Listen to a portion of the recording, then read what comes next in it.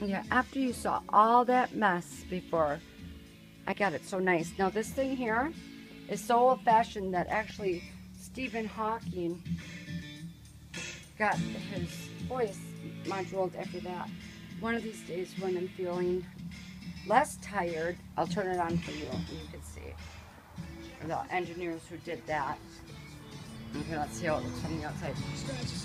Okay. I think I put in a good day. Are you guys done? No, I know. I'm just going home for the night. Thank you for everything. Those are the guys that were throwing things away.